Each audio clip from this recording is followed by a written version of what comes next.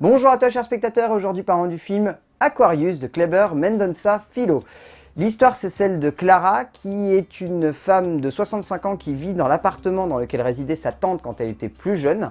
Euh, et donc alors qu'un groupe immobilier euh, veut racheter son appartement, parce qu'ils ont racheté tous les autres appartements de l'immeuble dans lequel elle vit, elle refuse et elle va se battre pour garder son bien et surtout pour garder les souvenirs de sa famille. Il a emporté beaucoup de monde à Cannes ce film il y a vraiment eu une espèce d'engouement autour de ce long métrage. Parce que il parle d'un sujet et il l'aborde d'une manière qui est humaniste. C'est un film qui est humaniste à un point qu'on voit rarement Aquarius.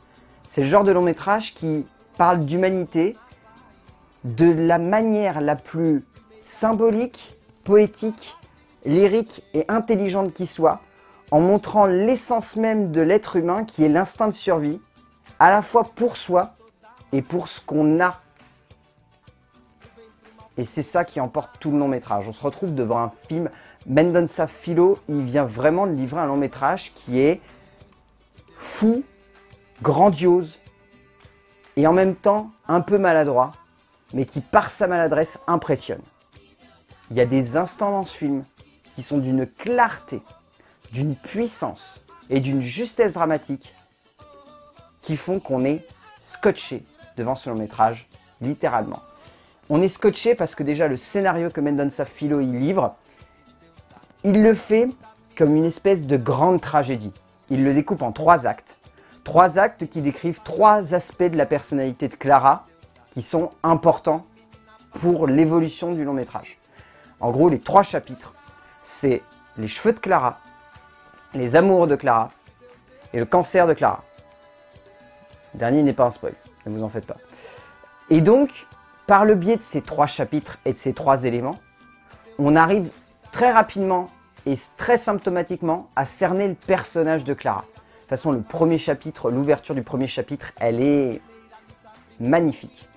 Elle est magnifique parce qu'à la fois, elle parle d'un truc simple, et en même temps, elle décrit tout ce que va vivre Clara tout au long du film pour avoir besoin de survivre, de se rapprocher de sa famille, de la comprendre et en même temps de grandir et dire au monde je suis là, je resterai, vous ne m'aurez pas. Et il y a des instants dans ce long métrage, c'est brillant. Et le mot est presque faible pour décrire la puissance émotionnelle que dégage Mendonça Philo au travers de son écriture. Le film joue très peu sur des métaphores. Il essaye vraiment de jouer surtout sur de la symbolique de l'instant. Et quand ce n'est pas de la symbolique de l'instant, c'est une émotion qui est captée sur le vif, qui ressort, qui vient nous attraper et qui ne nous lâche pas toute la scène. Il y a vraiment des scènes où on est emporté dans une espèce d'élan où vraiment on se rapproche de Clara et où vraiment on arrive à cerner à fleur de peau ce qui fait d'elle un être humain toute la clôture du film de toute façon est braquée là-dessus et les deux scènes de fin, elles sont déchirantes tellement elles sont bien faites.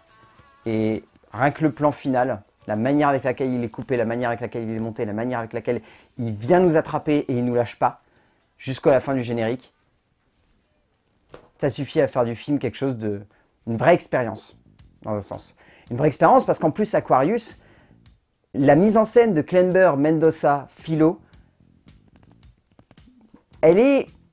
C'est difficile de la décrire. Elle est à la fois extrêmement réaliste et en même temps, elle illustre très très bien les outils cinématographiques, notamment un très beau travail du montage. Il y a vraiment une très belle efficacité du montage. Il y a des scènes qui jouent beaucoup sur des jump cuts dans le temps, qui reviennent de temps en temps dans le temps, ou alors qui restent dans le présent, mais qui en même temps nous remontrent un détail du passé.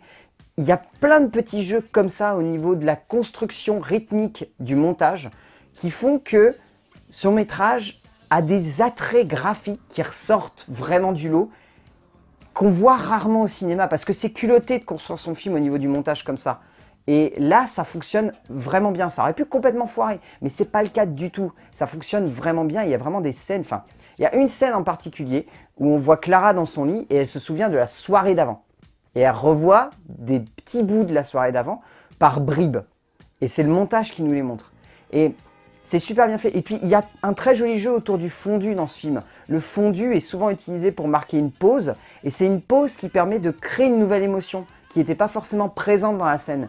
Qui permet de créer à la fois un aspect de nostalgie, des fois, des fois tout simplement une ellipse, et en même temps rapprocher le personnage du spectateur et faire en sorte qu'on ait voilà, une nouvelle émotion, une nouvelle interprétation de la scène, un nouveau regard sur un instant qu'a vécu le personnage, et qui fait que quand on y repense, on se dit pas simplement Ah, bah c'était pour montrer qu'il y a du temps qui a passé. C'est peut-être juste pour relier les deux scènes et dire finalement, cet instant-là, il permet à cet instant-là d'être là. Et c'est toute cette construction. Enfin, le film est vraiment beau. Et en fait, c'est très difficile de rentrer dans le détail parce que c'est tellement une grande fresque humaniste que, résultat, si on rentre dans le détail, ça vous fait perdre en fait le fil et la puissance du message que veut nous entraîner, dans lequel veut nous entraîner Mendoza Philo. Et ça serait dommage. Et au niveau du casting, alors là c'est extrêmement compliqué de parler du casting parce que la seule personne qu'on retient et qu'on a envie de retenir à la fin du film c'est Sonia Braga. Et pourtant elle est entourée de très très bons acteurs. Euh, il y a Maeve Jenkins, il y a Irandir Santos, il y a Umberto Carasso, il y a Zoraide Coleto, il y a Fernando Texera. Enfin, les acteurs secondaires, ils ressortent par petits instants, mais c'est Sonia Braga qui emmène tout le long métrage. C'est elle qu'on retient à la fin. Parce qu'elle représente Aquarius. Elle est Aquarius. Elle est cette femme qui se bat jusqu'au bout qui refuse de se laisser abattre parce qu'on voudrait, parce que ce que l'on voudrait être du fatalisme, quoi.